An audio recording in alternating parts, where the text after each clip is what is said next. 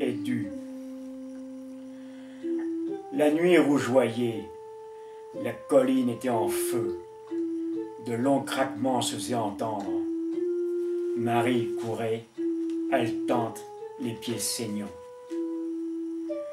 Déjà la chaleur se faisait sentir. En plus, c'était elle qui avait allumé le feu.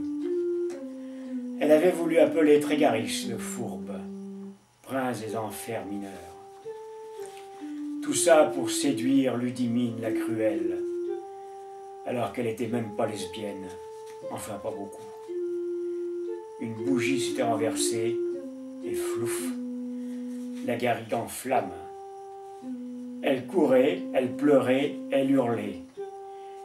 Une flamme vint lâcher son dos. De terreur, elle se pissa dessus. Honteuse, elle courut plus vite. Mon Dieu, non. Là, devant des flammes aussi oranges, violentes, elle comprit, tourna comme une folle sur elle-même.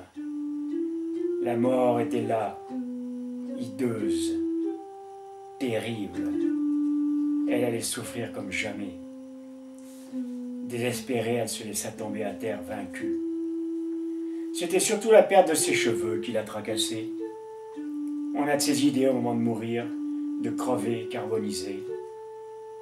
Et son chat, et, et, et, et, flouf, un être se matérialisa. Grand, rouge, laid, puant la braise une queue énorme. Là, gueuse, est-ce toi qui m'as invoqué Ne sais-tu donc point que là est grand péril? La jeune écervelée leva un regard piteux et trouble vers la chose diabolique. Les flammes s'étaient arrêtées, dansant la mélopée de la mort prête d'un geste à se jeter sur l'inconsciente pour la dévorer. Eux, et ce fut tout ce qu'elle put dire. Trégaric s'approcha. Et oui, le rituel avait fonctionné. Je t'ai entendu, belle terrienne, mais sais-tu le prix? Rien pour rien, pas de ratour. Donne-moi quelque chose de toi, ou demain tes amis t'offriront des fleurs mortuaire. Affolée, le rimel coulant, la culotte sale, Marie sanglotait.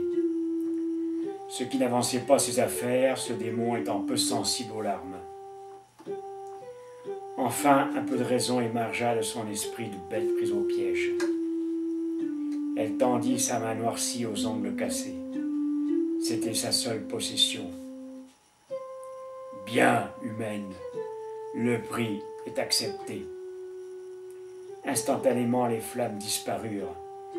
Mais avant, l'une d'elles brûla sa peau en signature du pacte. Le démon éclata d'un rire cruel et prometteur. Dans sa main à quatre doigts, il tenait la clé de chez Marie. Un éclair, il n'était plus là. Marie se releva blessée de partout. Un soir, elle savait, il viendrait prendre son dû. Un curieux mélange de peur et de désir faisait battre son cœur. Sorcelor, maître des grimoires perdus.